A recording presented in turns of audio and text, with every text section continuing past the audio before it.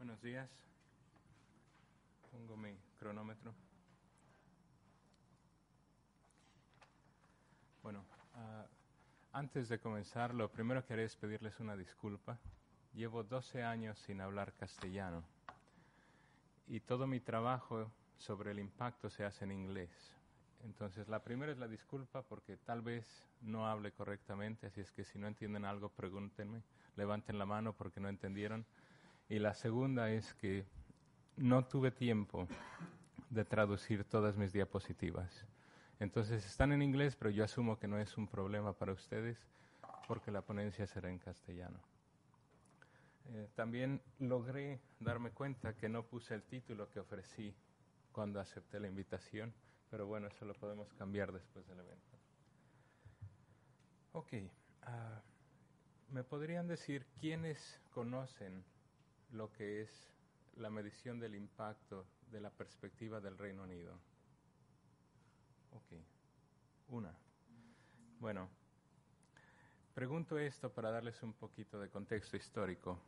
El, la medición del impacto comienza formalmente en 1986 en el Reino Unido a través de un programa que se llamó Research Assessment Exercise, o the RAE. Por primera vez, el gobierno pide que todas las instituciones de educación superior tienen que ser evaluadas formalmente para establecer la calidad de su investigación. Esto significa que el gobierno requiere que todos los investigadores activos en el Reino Unido tienen que ser escrutinados. En, el, en la primera, perdón, en, el, en 1986 fue la primera y después hubo cinco más aproximadamente cada cuatro años. Para darles un ejemplo, en el RAI del 2008 recibieron 2.344 artículos de los investigadores, perdón, 2.344 investigadores en 159 organizaciones del Reino Unido. Y esto es la traducción. 2.344 artículos de más de 50.000 académicos. Estos son evaluados por paneles que en la última reencarnación tenemos 32 paneles que más o menos incluyen unas 12 a 15 personas y tienen una, una lista de, de medidas que deben de evaluar. Y al final de estos ejercicios, cada uno de los artículos de un académico recibe de una a cuatro estrellas. ¿Qué significa? Una estrella, el trabajo es de importancia local o nacional, y cuatro estrellas es un trabajo que está rompiendo campo de forma internacional. La aspiración para todos es tener cuatro estrellas, pero obviamente eso es extremadamente difícil. La mayoría de los trabajos caen entre dos y tres estrellas, que es un poco de importancia nacional, con una tendencia un poco de importancia internacional, que sería la tercera, y los que reciben cuatro estrellas simplemente son esos artículos que, bueno, no sé a quién tengo aquí en la audiencia, pero podríamos asumir que son gente que está más o menos en las ligas de un Science, Nature, de un muy buen journal de economía, que están realmente postulándose con gente que, que ha ganado premios Nobel, que tienen más de 10, 15, 20 millones de libras de presupuesto de investigación. Es gente que realmente se ha uh, vuelto exitosa. Ahora, después del RAI, que termina en el 2008, que es la última, el Reino Unido vuelve a pensar su estrategia con respecto a la investigación, porque había presiones políticas para decir, bueno, estamos financiando la investigación académica a través del pueblo y tenemos que hacer algo más que simplemente saber que los artículos han sido buenos. Entonces, para lo que se llamó ahora la REF, la Research Excellence Framework, que es lo que van a estar viendo las noticias de aquí al, 20, al 2021, es el último ejercicio de evaluación donde se incluye formalmente una definición de impacto, con la cual tratan de establecer qué es lo que se ha hecho con la investigación más allá de la academia. En su primera concepción o conceptualización, el impacto está definido por el gobierno como aquellas repercusiones económicas y sociales. Entonces, por los primeros años, todo el mundo estaba intentando buscar una evaluación de costo-beneficio. Y tomó varios años poder dialogar con los Research Councils para hacerles entender que hay cosas más importantes que el dinero. Y perdón por decirlo así, porque eso es lo que creo. Y lo que ven atrás de mí es la culminación de varios años de, de pláticas con el gobierno para aceptar una definición formal que fue dada por ellos, pero que fue consultada con todas las instituciones. Y lo, que tenemos aquí es una definición de lo que es el impacto, que es un efecto, cambio o beneficio demostrable más allá de la academia. Y aquí realmente reside, y, y es bastante cómico que en estas cuantas líneas resida la vida de todos los académicos en el Reino Unido. Porque con esto son evaluados. Y básicamente, una de las consecuencias que no se hablan explícitamente es que si no haces esto, que si no tienes esos artículos con más de dos estrellas, básicamente te vuelves una persona que no va a encontrar trabajo. Porque a través de este ejercicio se distribuye el financiamiento a las universidades. Una segunda parte que no he mencionado es que esta evaluación también considera algo que se llama un caso de estudio de impacto. Entonces tenemos por un lado los outputs o productos académicos que generalmente son artículos, pero también se aceptan libros, monografías y diversas facetas de, de la vida académica. Se pide lo que es una narrativa, se le, se le llama la impact narrative, que es una pequeña, un pequeño bosquejo de dos o tres páginas donde se trata de vincular lo que se ha producido académicamente, un artículo, y cómo ese artículo ha ayudado a cambiar algo en el mundo no académico. Como es una narrativa, se tiene la, la posibilidad de crear ciertas cosas, y tengo que tener cuidado porque esto se está grabando, mucha gente puede crear los vínculos entre la, el producto de la investigación y lo que ha pasado en el mundo no académico. Para evitar esto, el sistema de evaluación pide lo que se le llaman los datos de corroboración del impact claim, uh, no sé cómo se diga en español. Entonces, cuando tú haces tu narrativa, tienes que darles datos de hasta cinco personas o instituciones que puedan constatar que lo que tú dices sea cierto. Entonces, como podemos ver, es un juego político. Ahora, cuando bajamos ya a lo que es la definición, podemos ver que incluye básicamente todo. Y esto es una, una de las cosas de las cuales estamos orgullosos, porque como pueden ver, lo que es el beneficio económico es una sola parte. Y lo que hemos conseguido a través de este lobbying con el gobierno es de que acepten y valoren de la misma forma cosas como efectos en la gestión pública, efectos en la vida cultural del país, efectos en el ambiente, efectos en la industria, en los comercios, estas categorías que ven en la pantalla son bastante, bastante amplias. Hay equipos de investigación que han tratado de medir cuántos efectos distintos podemos encontrar. Es un equipo de la Universidad de Texas. Han encontrado 196 indicadores de impacto. Ahora, tenemos otra vez ambos extremos. Aquí yo vengo con 8 y hay equipos que van a tener 195. Bueno, ¿y quién va a medir todo eso? Entonces aquí también reside la, la, problemática que se resuelve a través de los paneles de expertos. Los paneles de, de expertos son gente de la academia, pero gente también de la administración pública, de la industria, del tercer sector, que juntos evalúan cada uno de esos outputs y también los estudios de caso. En la última REF hubo 6.975 eh, casos de estudios sobre impacto. Ahora, este programa de evaluación, bueno, toma aproximadamente dos o tres años. El REF del 2014, los resultados se anunciaron más o menos año y medio después por el trabajo que, que lleva. Ok. Ahora, algunos puntos que vale recalcar sobre lo que es el impacto. Como ya lo aclaré, es una actividad académica, pero que se tiene que demostrar fuera de la academia. Como lo dije hace rato, tenemos que buscar evidencia, que es lo que se le llama la evidencia, que sea demostrable y que sea robusta.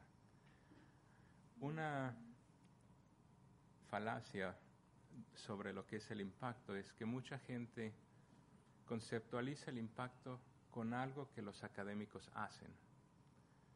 Y es parte de mi trabajo educar a la población académica y no académica de que el académico no hace impacto. El impacto se genera afuera de la academia y esto es absolutamente fundamental. Porque si nosotros creemos que el académico hace impacto, simplemente estropeamos todo el proceso de investigación. El académico lo que tiene que hacer es su investigación de la mejor forma posible, pero pensar quién puede utilizar este, este conocimiento, quién puede utilizar estas habilidades que yo genero y cómo puedo ponerme en contacto con ellos porque pienso o siento que tengo algo que aportarles. Ahora, el cambio está fuera de sus manos. Entonces, algo muy importante para nosotros es evaluar a nuestros investigadores en las actividades que realizan para poder llevar su investigación a aquellos que pueden hacer algún cambio o influenciar un cambio. Esto es importante porque hay un tipo de impacto que se llama impacto conceptual, está estipulado por los Research Councils, que nadie ha hecho todavía porque es bastante difícil de medir, en el cual uno puede demostrar que uno ha cambiado o influenciado la forma en que alguna organización concibe un problema. Y eso se acepta como un impacto genuino. Ahora, en la ¿qué es lo que vale este impacto? En el REF anterior, que es el 2014, lo que uno recibía por hacer su narrativa eran aproximadamente eran 20% del valor total de la REF. Y esto se ubicaba en una parte que se llamaba el Impact Case Study, el, el caso de estudio de impacto, que era una sección completamente diferente.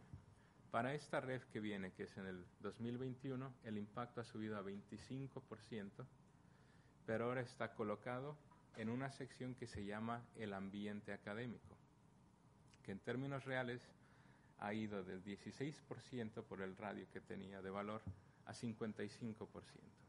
Entonces, en los últimos dos meses, que fue cuando salieron las nuevas reglas, hacer impacto básicamente se ha incrementado por lo menos el doble. Entonces, si hace dos años la gente me toleraba, ahora me quieren.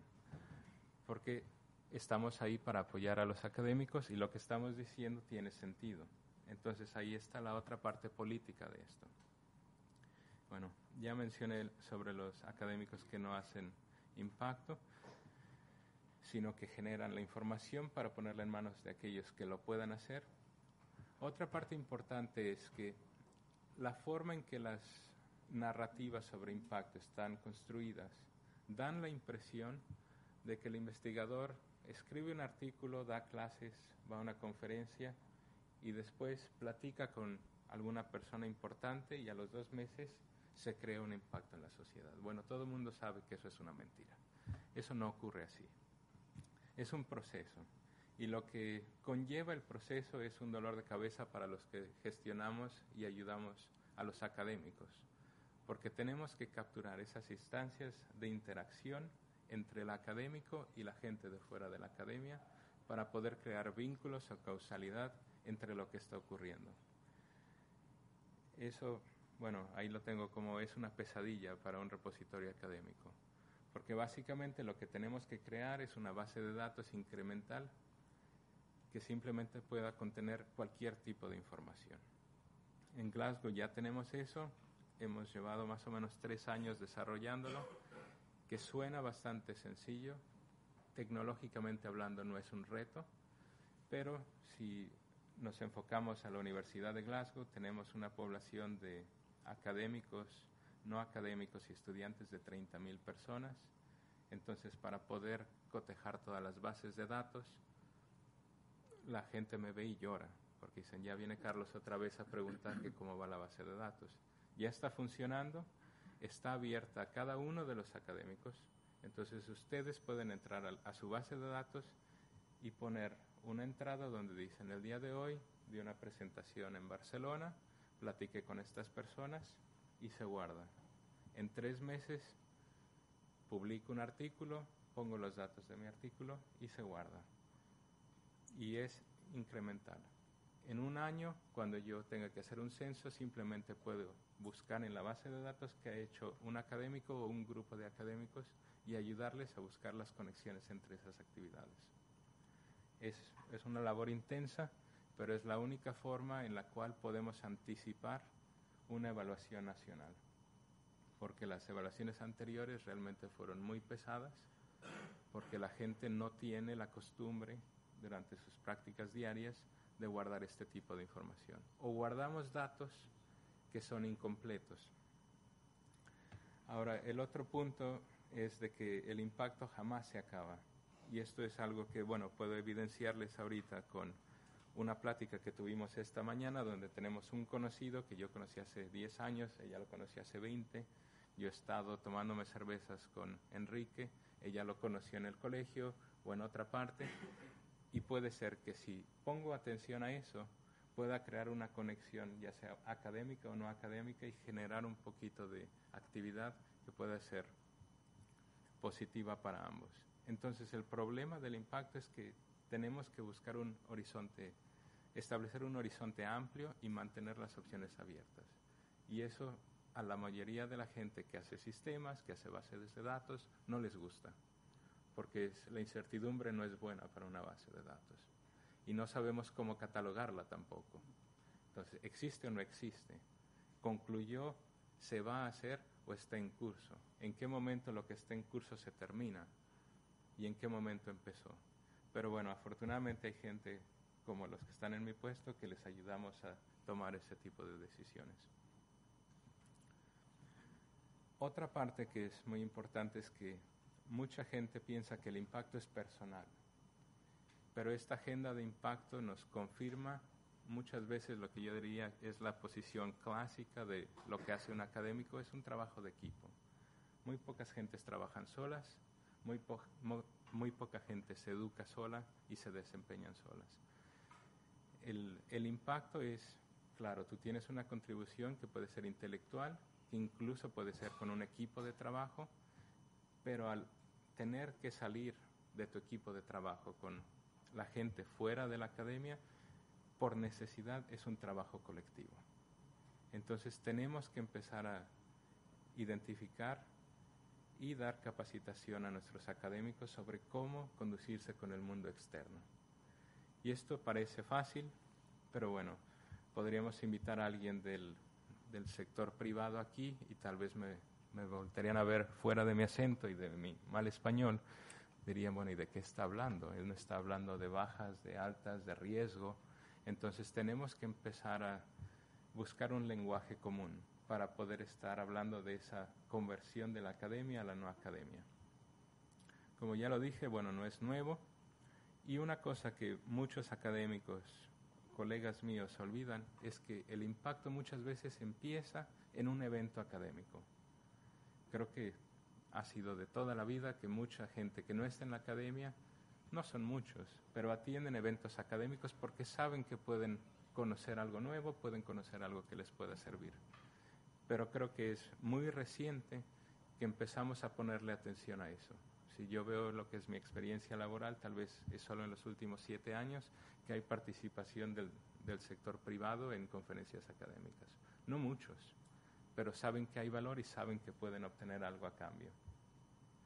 Entonces no hay que, en, en, mi posición no puedo simplemente ahuyentar a los colegas y decirles, sabes que tienes que olvidarte de la academia y hay que ir a buscar el impacto allá afuera. No, podemos utilizar los eventos académicos con un poquito de creatividad e invitar gente fuera de la academia para que vengan a conocer lo que hacemos y buscar ese vínculo con ellos.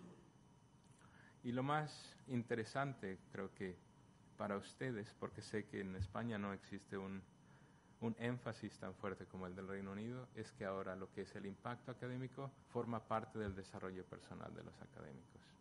Dependiendo de la institución, va a haber cosas que te permitan ya sea o avanzar en tu carrera académica o ganar dinero o obtener fondos en base a tu desempeño sobre impacto no académico. Y esto es muy importante porque en una visión de 5 a 10 años la gente que no haga impacto en el Reino Unido no va a encontrar trabajo. Ok. Entonces, tres consideraciones antes de seguir. lo que se le llama la agenda de impacto simplemente va de mano en mano con la inversión pública sobre la investigación. No es nada nuevo. Lo único que ha cambiado es el énfasis y en el pasado se podía hacer un costo-beneficio de lo que se le paga a las universidades y el dinero que generan las universidades, pero a, partir de los 80 con el gobierno de Margaret Thatcher eso no es suficiente y hay que justificar la existencia de las, de las instituciones de educación superior. Esto nos conlleva a preguntarnos, bueno, ¿y si tenemos una, organización privada que no está eh, financiada por el pueblo? ¿Tienen impacto? Bueno, la, la respuesta es sí, claro. Pero ese impacto es la razón por la que existen y no tienen que preocuparse por justificar sus gastos en cuanto al pueblo, que es lo que está ocurriendo en el Reino Unido. ¿Hasta qué grado el impacto es local, internacional, transnacional. Bueno, eso depende de qué es lo que hagan. Y finalmente, ¿cómo podemos saber que la investigación ha tenido un impacto? Bueno, esto es lo que le llamo el desafío de atribución, que es lo que he explicado un poco. Bueno, ¿qué es lo que ha hecho el investigador en términos académicos? ¿Qué ha hecho el investigador en términos no académicos? ¿Y cómo podemos buscar los vínculos entre estas dos actividades? Entonces, bueno, para recalcar, tenemos un, problema de justificar nuestros salarios, un problema de la, de la causa o de la atribución de las relaciones entre la investigación académica y los beneficios no académicos.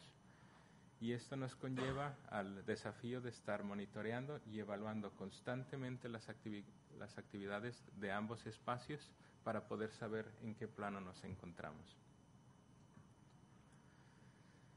Y bueno, creo que esto nos conlleva a tener que considerar desafíos y realmente la agenda de impacto tiene más desafíos que respuestas. La única respuesta que les tengo es la definición porque esa ya está dada, está discutida. Y la parte bonita o la parte difícil es que todas las cualidades del impacto dependen de la del ámbito en el cual ustedes se desempeñan. Entonces, una parte que se ha tratado de explicar como una ventaja del impacto es que nos forza como investigadores a trabajar intradisciplinarmente, interdisciplinariamente y a través de las disciplinas. Y bueno, son tres palabras muy sencillas, pero implican desafíos realmente que no se pueden resolver. ¿Cómo defino una un proyecto de investigación entre disciplinas o especialismos dentro de una disciplina. ¿Cómo distribuyo lo que cada una de ellas aporta? Ahora, si me muevo a un paradigma de interdisciplinas, ¿cómo se logra? Y si me voy al trans, que es todavía peor, y bueno, ¿cómo involucro a la gente? ¿Qué le pasa a mi investigación cuando yo cedo un poco de control y, y comprometo en mis bases de investigación o de diseño de investigación. ¿Qué pasa con las cuestiones éticas? La gente puede utilizar esto también para ganar financiamiento. Puedo invitar a aquel que es biólogo y a aquel que es ingeniero y simplemente ponerlos en mi proyecto de investigación y jamás hablar con ellos. Pero se ve bien y eso es lo que el gobierno quiere. entonces gano el financiamiento. Tenemos el problema de bases de datos y de cómo voy archivando esa información. Para mí uno de los problemas más fuertes es, o más difíciles es el manejo de las relaciones humanas, porque creo que no tenemos la habilidad, y no hablo de académicos, hablo de la gente en general, para saber cómo definir y cómo manejar esas relaciones humanas que pueden conllevar a cerrar un negocio o a cerrar un trato con alguien. Eso nos enseña. Se puede enseñar, pero creo que tradicionalmente no se enseña. Y es por la estructura de las mismas instituciones. Y bueno, esta, esta palabra tan usada recientemente, el, lo que aquí ayuda es la serendipity, que como diría mi abuela, uno pone, Dios dispone, llega el diablo y todo lo descompone. Hay veces que uno puede estar sentado, tiene la investigación que quiere, tiene el financiamiento que quiere, tiene las organizaciones con las cuales uno quiere trabajar, pero hay una situación externa a lo que uno está controlando que destruye todo. Entonces, bueno, podemos estar aquí sentados y tenemos problemas políticos allá afuera. Por un poco no llego, pero todo estaba planeado. ¿Y cómo yo, como administrador de los investigadores, puedo tomar eso en cuenta para no perjudicar la evaluación de estos investigadores? Y ese es otro de los desafíos. Bueno, entonces, ¿para qué les estoy diciendo todo esto? Bueno, creo que tenemos una oportunidad como académicos, como gestionadores, como gente que tiene recursos públicos, que los usa para algo que, que sienten placer en hacer, que sería la investigación, o que sienten que contribuyen, bueno, tenemos la oportunidad de capacitar a la gente con la que trabajamos y enseñarles a hacer estas cosas. Este es un, un pequeño documento, aquí tengo varias copias si las quieren tomar al final, que utilizamos en Glasgow para ayudarle a los investigadores a concebir la forma en que hacen investigación de forma distinta.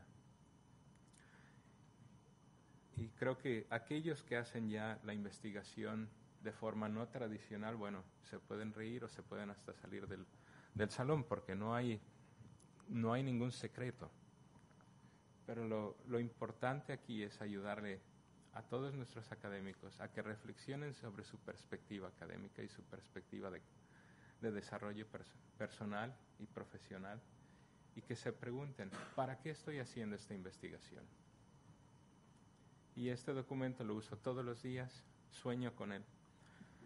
Y cada quien cada persona que llega a mi oficina, ¿y por qué estás haciendo esta investigación? Porque queremos que recapaciten y reenfoquen la razón de la existencia de lo que investigan. Porque mediante eso estamos convencidos, podemos ayudarles a buscar esas personas y organizaciones y oportunidades que requieren para generar ese impacto que el gobierno necesita para poder seguirnos dando el, el financiamiento. ¿Quién va a beneficiarse de esa actividad? ¿Quién puede ayudarte a cambiar esa perspectiva de la realidad que tanto te interesa? ¿Cómo puedes acercarte a esas organizaciones? Tienen conferencias, tienen business breakfast, tienen reuniones anuales, tienen tal vez una cena en, en la costa, que bueno, es carísima, pero tal vez si tú vas ahí puedes hablar con ellos y puedes empezar a sembrar esa semilla de por qué tu investigación les puede servir. Lo más importante que, que vemos aquí es que la mayoría de los académicos pueden contestar estas preguntas. La cuarta pregunta es la que les cuesta mucho trabajo. ¿Y qué quieres de ellos? ¿Qué quieres que hagan? ¿Qué pueden hacer por tu investigación? Y aquí es lo que nos toma más trabajo, porque muchas veces los que estamos en este ámbito académico, bueno, estamos aquí por el, el, amor al conocimiento, el amor a la, a la curiosidad que es una generalización, pero ocurre. Pero bueno, si tuviera una, varita mágica y alguien pudiera cambiar mi realidad, ¿qué va a ser eso que les voy a pedir a estas personas? ¿Qué tipo de lenguaje necesito hablar para que estas personas me entiendan? Si yo voy y quiero cambiar una realidad sociopolítica, no voy a llegar y pedir que cambien la realidad sociopolítica tengo que conocer la retórica, tengo que conocer el contexto de esa discusión y tengo que estar bastante bien centrado en la realidad del poder que esa persona u organización tiene. Y tengo que empezar a pensar sobre cómo puedo llegar a ese objetivo a través de varios pasos. Una pregunta que nos ayuda mucho, la respuesta a esta pregunta, ¿y qué pasaría si no platican contigo? ¿Qué le pasaría al mundo si nuestra investigación jamás se conoce?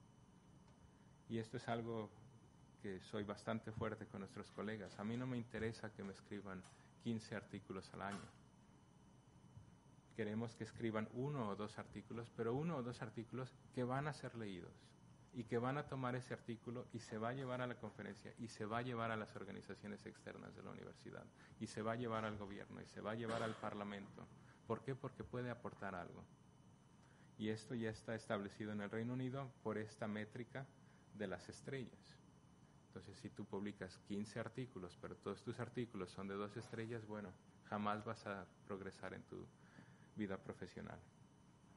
Y la parte fundamental para nosotros, que ya la he mencionado, es, bueno, ¿cómo podemos documentar o evidenciar esas actividades? Y aquí hay varios ejemplos de cómo pueden evidenciarse, son bastante, bastante flexibles. Si un académico nos, nos ha dicho que ha influenciado, por ejemplo, uno de nuestros colegas ha influenciado la forma en que se rehabilitan los prisioneros, en vez de darles lo que se llama una custodial sentence with tagging. Al salir de la prisión te ponen en un monitoreo donde tienes que firmar cada semana y te ponen un tag en el talón para que sepan dónde estás.